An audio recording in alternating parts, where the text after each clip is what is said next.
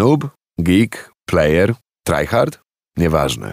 Tutorial jest dla każdego gracza. Moim gościem w tutorialu po raz kolejny jest Paweł Szulim. Cześć Paweł. Cześć, cześć. No, rozmawialiśmy w zeszłym tygodniu o Xboxie Series X. Robiliśmy takie delikatne wprowadzenie, mówiąc o tym, że jesteś jednym z niewielu szczęśliwców w naszym kraju, któremu udało się dostać e, najnowszą odsłonę konsoli, konsoli Sonego, czyli PlayStation 5. Czy dotarła? E, tak, e, dotarła, jest już rozpakowana i stoi obok telewizora. Została też odpalona, mam nadzieję. Tak, tak, tak, tak, tak.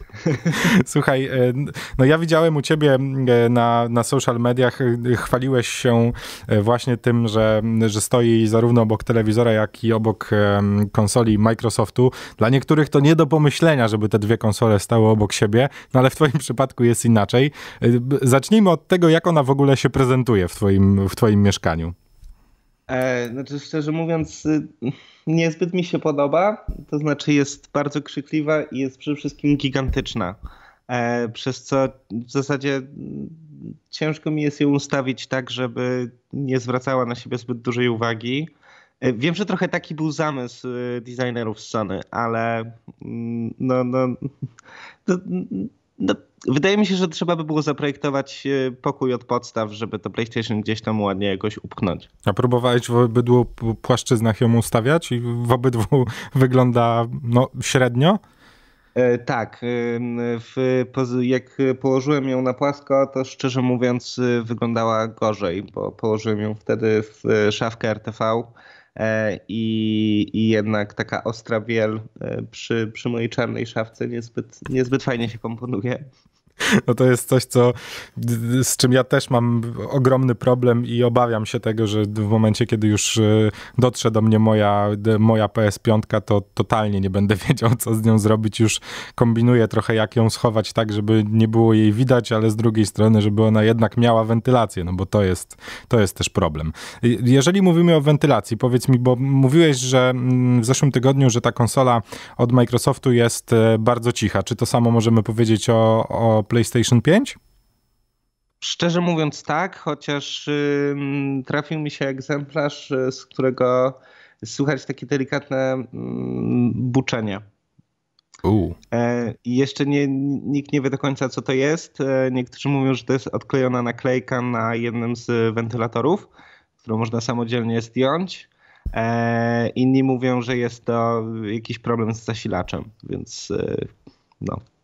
No tak, zawsze z tymi konsolami pierwszego rzutu jest to, to pewne ryzyko, że coś tam może jednak być nie tak. Ja nie wiem, jak to działa, szczerze mówiąc. Nie rozumiem, jak przez tyle lat przygotowań cały czas zdarzają się egzemplarze, które mają jakąś, nawet choć tak błahą wadę, jak odklejająca się naklejka. Tak, znaczy wiesz co, to, to jest bardzo delikatny dźwięk, więc to nie jest tak, że to jakoś mnie wytrąca nie? z gry, ale, ale słychać to delikatnie. No dobrze, co po odpaleniu w takim razie PS5 możesz nam powiedzieć? Bo w zeszłym tygodniu rozprawialiśmy o tym, jak te gry śmigają i jak wyglądają na konsoli Microsoftu, więc musimy oddać Sonemu to co, to, to, co oni mają i to, czym można się pochwalić, a może czym nie można się pochwalić?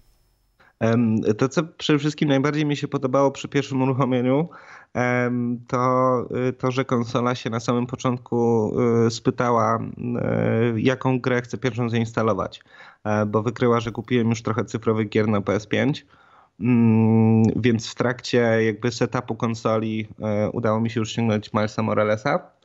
E, I tak w zasadzie to, to jedyna gra, to jest gra, w którą chyba najwięcej grałem jak na razie na, na PS5 y, I, i robi mega wrażenie. Robi naprawdę gigantyczne wrażenie.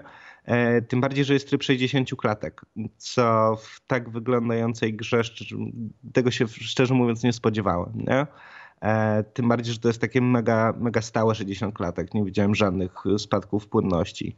No, Więc... Y, przez ostatni tydzień pojawiło się też sporo y, materiałów w internecie, które porównują. No nie, nie uciekniemy od tych porównań między Xboxem a PlayStation, no bo mm, w, w sumie to dlatego rozmawiamy i dlatego chyba ty też trochę zakupiłeś jedną i drugą konsolę, żeby trochę je porównać. Więc czy możemy powiedzieć, e, tak jak w zeszłym tygodniu, odnosząc się do tamtej rozmowy, powiedziałeś, że jednak ta przesiadka mm, z poprzedniego Xboxa na tego nowego, no graficznie nie jest e, niczym oszałamiającym, o tyle przesiadka z PS4 na PS5 już robi większe wrażenie? Znaczy, powiem ci szczerze, że zdecydowanie mam większy komfort użytkowania tej konsoli bo jednak wentylatora praktycznie nie słychać poza tym bzyczeniem. E, jest też 10 klatek.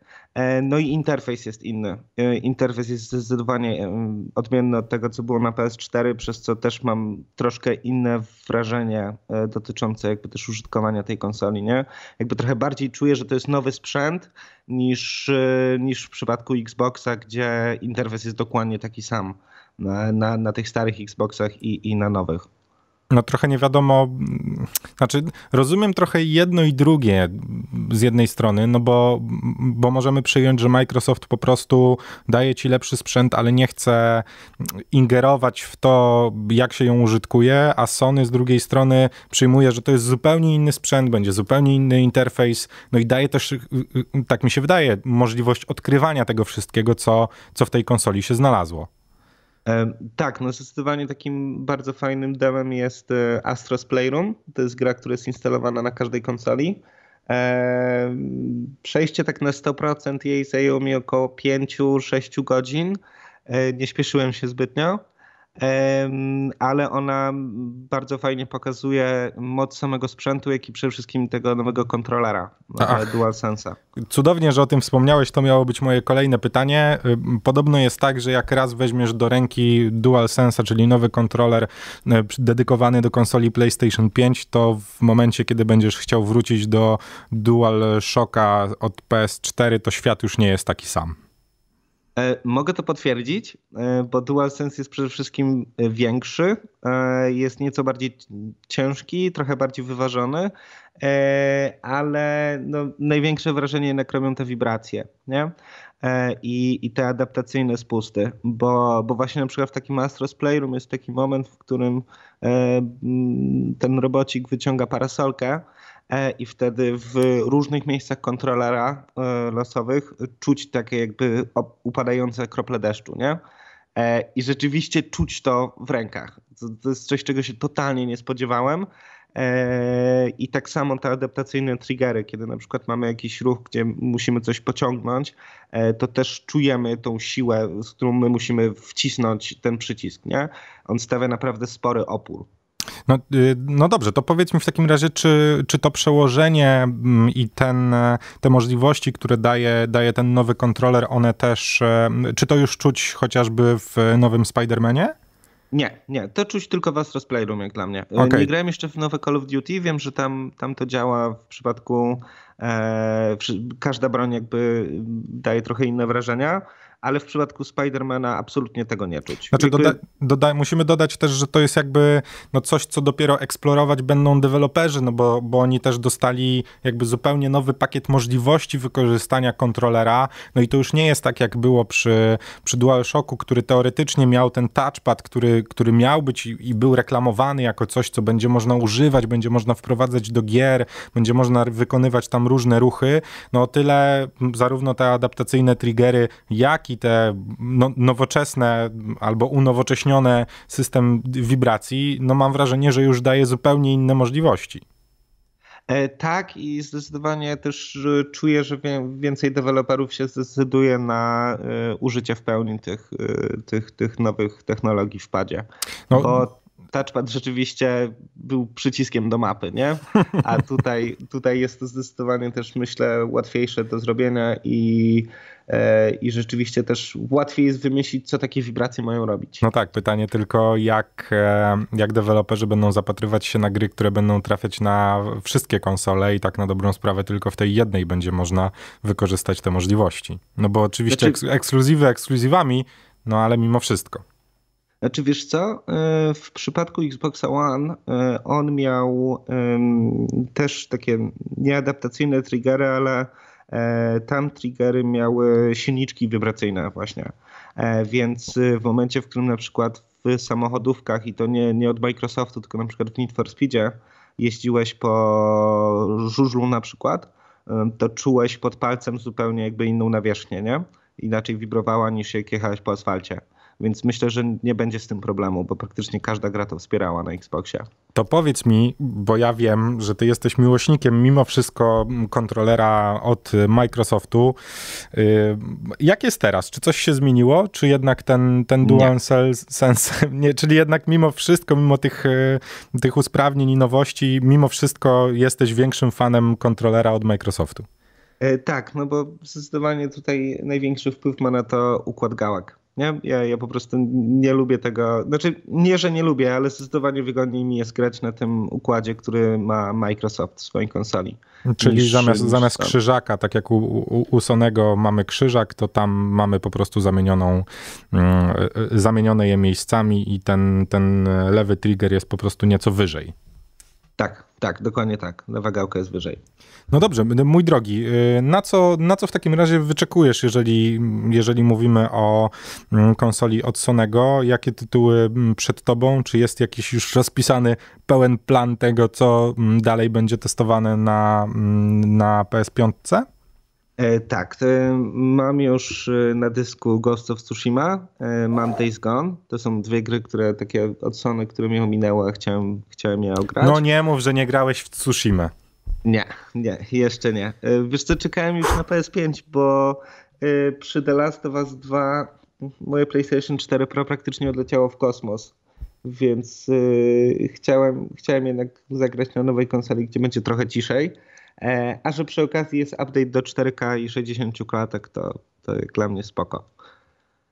Czuję się, e, czuję się delikatnie no źle, myślałem, że, ty, że już Tsushima to wszyscy mają za sobą. Dla mnie definitywnie jedna z najlepszych e, gier, mm, no jeszcze tego roku e, mimo wszystko, no ale zobaczymy jak to będzie. Powiedz mi, czy w takim razie weźmy jeszcze na tapet nadchodzącą premierę, chyba jedną z najgłośniejszych tego roku, która wydarzy się już za kilkanaście dni, bo dokładnie 10 grudnia czyli e, Cyberpunk 2077. Która konsola będzie tą, na której będziesz e, sprawdzał Cyberpunka? PC. Uuu, to żeś teraz w ogóle namieszał. No. Myślałem, że będzie wielka batalia, wiesz, pomiędzy, mm, pomiędzy Microsoftem a Sonym, a tu jednak, jednak PC-towo będziesz, e, będziesz ogrywał Cyberpunka. E, tak, wiesz co, e, przede wszystkim e, do dzisiaj nie jestem zbyt dobry w strzelanki na kontrolerze. Nie umiem aż, aż tak dobrze celować i, i, i, i zdecydowanie tutaj mysz i klawiatura wygrywają. E, no i przy okazji też w PC mam RTX 3080, więc, e, więc chciałbym, wiesz, w pełni ten ray tracing e, odpalić, nie? Chociaż jestem pewien, że jak wyjdzie wersja na Next Gen Cyberpunka, to, to na pewno na Xboxa będę brał. No tak, a dodajmy mm, tylko tyle, że wydaje mi się, że to już w tym momencie potwierdzona informacja, która mi gdzieś się przewinęła, że jeżeli zakupisz Cyberpunka na konsole, które w większości mamy w swoich domach, to automatycznie będzie ta wersja upgrade'owana do konsoli nowej mhm. generacji. Co tak, też jest, nawet z tego co wiem na pudełku są oznaczenia. Co, co też jest bardzo fajne i uważam, że to też jest e, fajny, mm, fajny myk, że w momencie, kiedy będziemy mm, ogrywali Cyberpunka na przykład na PS4, no to w momencie przywiezienia lub zakupu e, PS5 będziemy mogli sobie po prostu za darmo mm, ponownie zainstalować tą grę i porównać po prostu jak sprawa wygląda na, wyglądała na konsoli starszej, jak wygląda na konsoli nowszej. Tak, no, to... no, no zdecydowanie plus yy, yy, w zasadzie spora, spora ilość tych gier międzygeneracyjnych w tym momencie tak działa. Na pewno tak Valhalla ma, Watch Dogs Legion tak samo, czyli jak kupimy na PS4, to mamy darmowy upgrade na PS5. Więc... E, no ale są też takie tytuły, do których trzeba dopłacić. Wspomniany chociażby wcześniej przez ciebie Call of Duty, który mhm. jeżeli chcesz mieć na obydwu konsolach, to trzeba zapłacić nieco więcej. Tak samo sprawa wygląda na przykład z Dertem piątką, który mm, wydaje mi się, że automatycznie nie jest upgrade'owany. Trzeba było zakupić tą wersję mm, wyższą. No nie mówiąc już o tych tytułach e, bardzo kasowych, czyli chociażby o NBA od 2K, czy przy FIFA, która po prostu jest zupełnie nowym, nowym rozdaniem według EA Games i, i po prostu będzie nowym tytułem na PS5. Nie będzie możliwości żadnego upgrade'u. Jeżeli nie kupiliście jakiejś tam edycji legendarnej czy, czy czegoś takiego, no to po prostu trzeba mm, zakupić nowy, nowy tytuł na PS5. No ale podejrzewam, że to, to wszystko będzie wynikało też z tego, jak duża jest to gra, jak kasowa jest to gra, no i od samego podejścia deweloperów. Tak, no, no zdecydowanie. No dobrze, Pawle, to chyba tyle, no.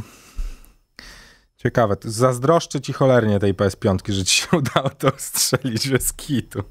No, znaczy powiem ci, ja sam do, do teraz nie do końca ogarniam, jak mi się no. to udało. Tym bardziej, że, że sklep, w którym kupiłem, e, anulował ludziom preordery. O! To już w ogóle no. nie, dobra, nie puścimy tego, bo nas tutaj wiesz. No. Będą nas szukać. No dobrze, mamy nadzieję, że rozwieliśmy razem z Pawłem wątpliwości, tudzież pokazaliśmy różnicę między e, najnowszymi odsłonami e, konsol, zarówno od Microsoftu, jak i od Sonego. Z Pawłem no, będziemy się łączyć zapewne w momencie ogrywania przez niego gier e, na tych nowych generacjach, no bo jak dobrze wiecie, nam się nie udało dostać konsoli nowej generacji. Paweł Szulim był moim gościem. Paweł, dzięki jeszcze raz wielkie. Dzięki też, na razie. Tutorial. Audycja dla graczy.